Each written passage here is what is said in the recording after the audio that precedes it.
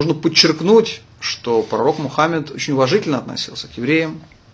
И когда мы сегодня говорим о том, что надо подчинить наши взаимоотношения, нужно помнить, что для нас, иудеев, в мечети молиться можно, это не место идолопоклонства, что мы уважаем э, исламскую религию. Многие серьезные люди говорят э, в иудаизме, что пророк Мухаммед, безусловно, был посланцем Всевышнего, который привел больше миллиард людей от идолопоклонства дикого к идее монотеизма, к идее единобожия. Поэтому терроризм несопоставим с настоящим исламом. Коран очень мудро говорит, что мы ничего другое не говорим.